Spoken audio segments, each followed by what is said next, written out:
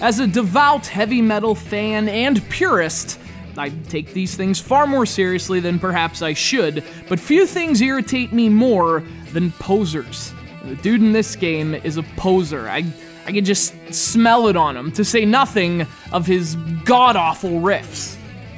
What does all that mean for you? Well, bad music, touchy controls, and references to Slayer and Dio without ever offering music that sounds like Slayer or Dio and perhaps most importantly for gamer types, combining two genres without ever elevating them beyond, hey, we've included them.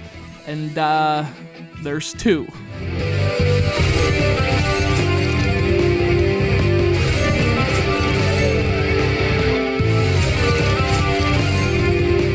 A new release to the eShop on the Nintendo 3DS, Zombie Slayer Diox, is at least an interesting idea. It's this three headed monster of a video game. One head says rhythm game, the middle head says hack and slash, and the third says, hey, the X is silent, and we have guitars and zombies.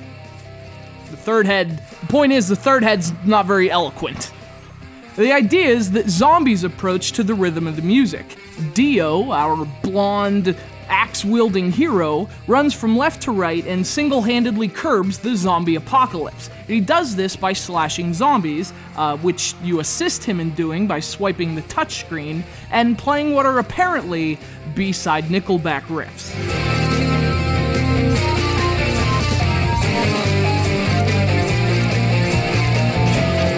It works in a functional sense. Each zombie must be swiped in a certain direction, with those directions specified above their heads. The game even throws in colors, so you're holding down the corresponding direction on the D pad before swiping.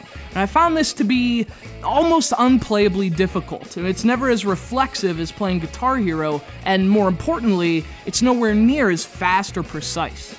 But even with its flaws, the game has a cool premise and might have been saved by a killer soundtrack, but the music is just vanilla, paint by numbers college hard rock. And to me, uh, that's that's false advertisement. And to you, it's a game that's caught in the middle. It's too average to make you stand up and shout, and the controls can be frustrating enough to cause a hardening of the arteries.